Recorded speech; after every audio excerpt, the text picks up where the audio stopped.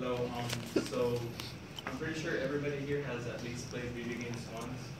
And, um, I'm pretty sure everybody kind of likes them, or at least most of us do. Um, I've played violent video games for like, I don't know, since I was like thirteen, and I didn't really fit into the rated M category, or people who were like supposed to play them at like a mature age. Um, I didn't really take it too seriously. I just did it for fun. And now that I play these games, it seems like a lot of little kids playing them, and they're really violent. They like you kill them, and then they're like telling you like, um, excuse my language, like, fuck off or something. And um, I don't know, they're really mad, and they get really violent. So today I'll be talking about violent, violent video games and how they are sometimes related to school shootings. So I'll do this like first stating the problem, which is video games wrongly blamed for school shootings, and video games are not meant for children. Violent video games are not meant for chil- children. Um, the causes are that video games are um, played by little kids, and this causes uh, serious psychological ills to, to kids. And exposure to violent events could sometimes cause the children to be violent. Uh, and then before finally talking about the solutions, which are parents should refuse to buy their children um, these games because they're not meant for them, and violent video games should not, uh, or should have a warning label. Okay, so the problem.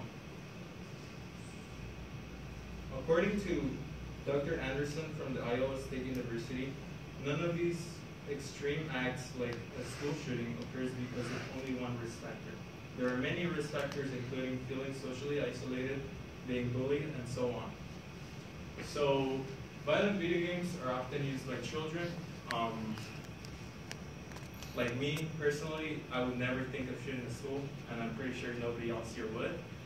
Um, the kids that actually end up doing this, research shows that um, they have serious psychological ills. Um, and there's really no evidence to show that video games are connected to the shooting besides the kids actually playing video games. But um, I forgot, I don't have the source here with me, but it said that um, 90% of people have played video games. It's really common for somebody to play video games. So just by finding the video games in the shooter's house, it does not mean that that contributes to the shooting. Um, oh yeah, I read. Um, the cause. Well, most of the kids that shot up schools were either bullied by peers or their family, or they went through traumatizing events in their life. Um, according to the NBC Nightly News, written by Subrata De, talks about how shooting in a shooting in the Red Lake, Minnesota. The shooter was a child that had gone through a traumatizing event. His father had committed suicide, and his mother was uh, moved to an asylum.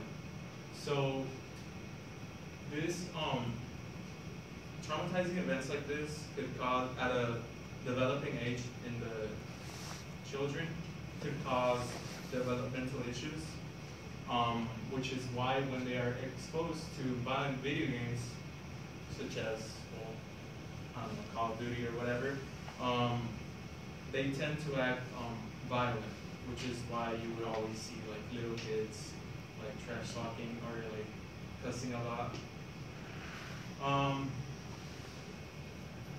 so the solutions are that parents should stop violent, um, stop violence at their households. They should stop um, buying video games for their kids because they are not meant for them. They are rated M for a reason.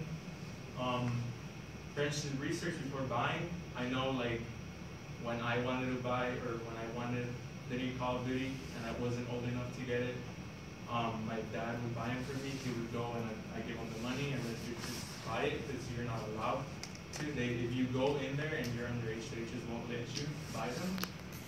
Um, And even when your parents buy them and you're with them, they ask you if it's okay for you to play it. But I feel like they don't really inform you. They just tell you like it's violent and that's it.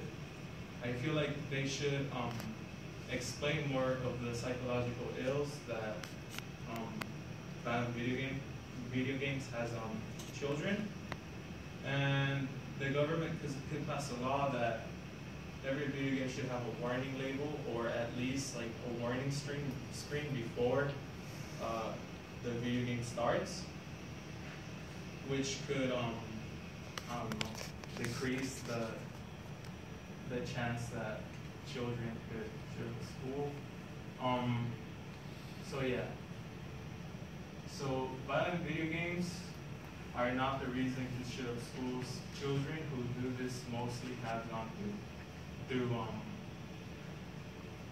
traumatizing events and yeah. So today I talked about uh, violent video games connected to um, school shootings. By first um, talking about the problem, then the cause and the.